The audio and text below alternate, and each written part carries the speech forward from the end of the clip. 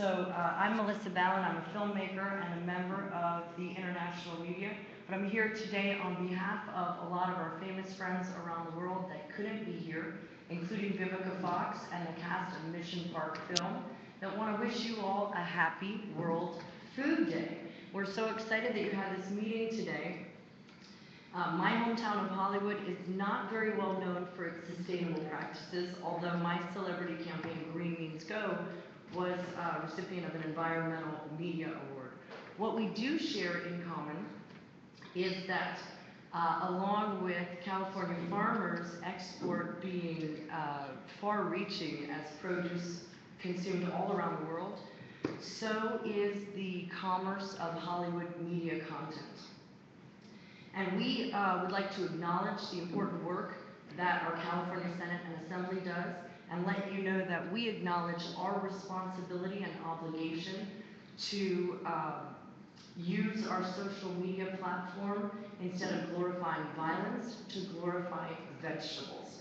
So we are partnering with you and some other strategic partners, including Oxfam America, uh, the United Nations Food and Agriculture Organization, Bird's Nest Foundation, which incidentally has provided over a hundred garden boxes and academic curriculum in New York City and are choosing to go international by bringing garden boxes and curriculum to California.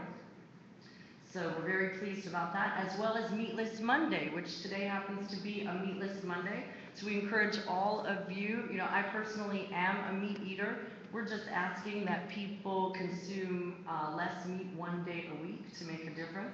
Really quickly, I want to share with you some of the ways that we're going to be doing that. Vivica Fox wants you to know that her favorite vegetables are broccoli and potato. And she wants you to share your favorite vegetables. We're very pleased to see the assortment of presumably certified organic vegetables, California vegetables here throughout. I wish everybody also a happy Halloween. Tomorrow's National Mushroom Day, and you can find out other fun facts to keep uh, along all of October's Vegetarian Awareness Month.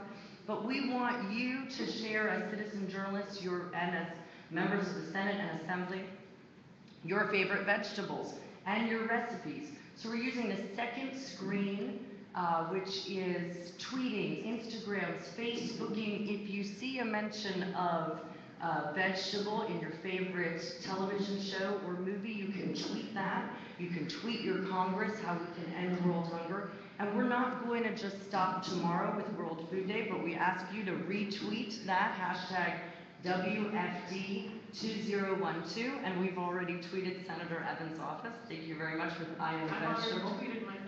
Yes, well, don't talk dirty to me, I hardly know you. But we applaud everyone's participation because everyone can make a difference. We ask you to join us to make it trendy to end world hunger.